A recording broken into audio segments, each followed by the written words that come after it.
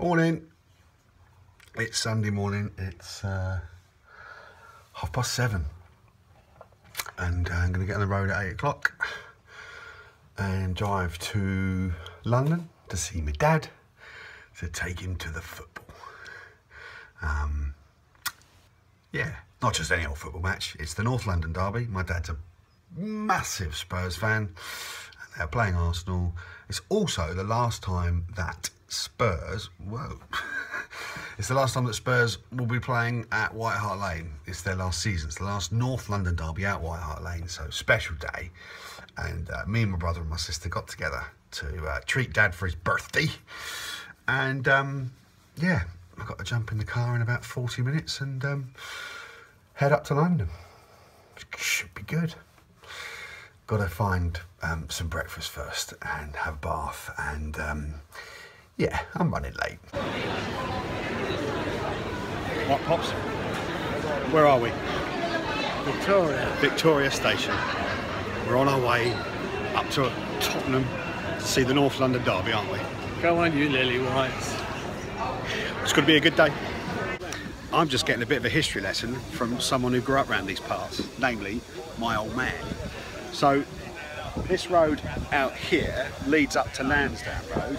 And tell us about Lansdowne Road. Lansdowne Road was the approach to Tilson Road where my grandparents, my maternal grandparents used to live. So you are a proper Spurs man through and through. Yes, I'm a proper Spurs man because on the 16th of March 1936, Bill Nicholson joined this club as an apprentice.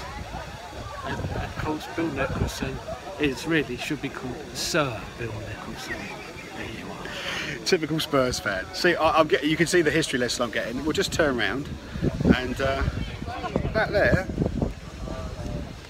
is the stadium itself. And I think we're in the uh, in the Cucumber Sandwich Brigade Lounge just here, waiting for our guests to come and show us in. So yeah, so far so good. Yeah. Yep, We've brilliant. not, we've not walked too far. We've got the train. Let the bus take the strain, exactly. and now we're going to let someone else feed us and water us and watch some football. with many thanks from Emma, Matt, and Woody for this great opportunity to see this see this game.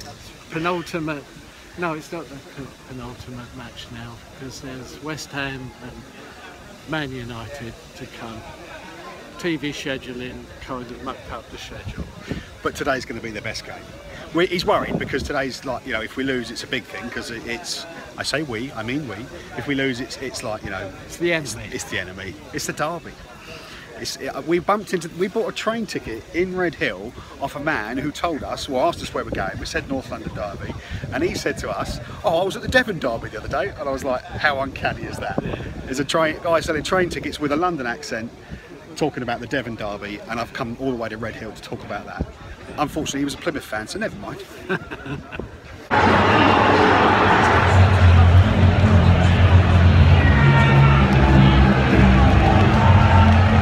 That's a pretty decent seat, I'd say.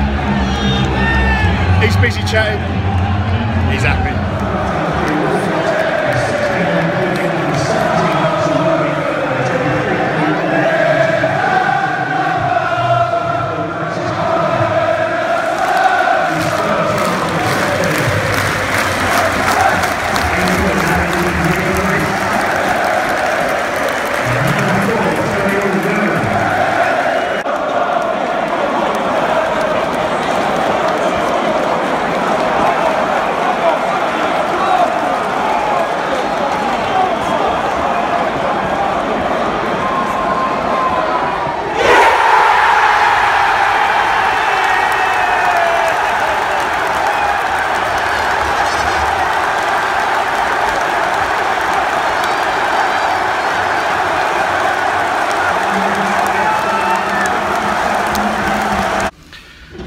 Game is finished. I'm in a lift. I'm in a lift with a very happy Spurs fan because his team just won 2 0.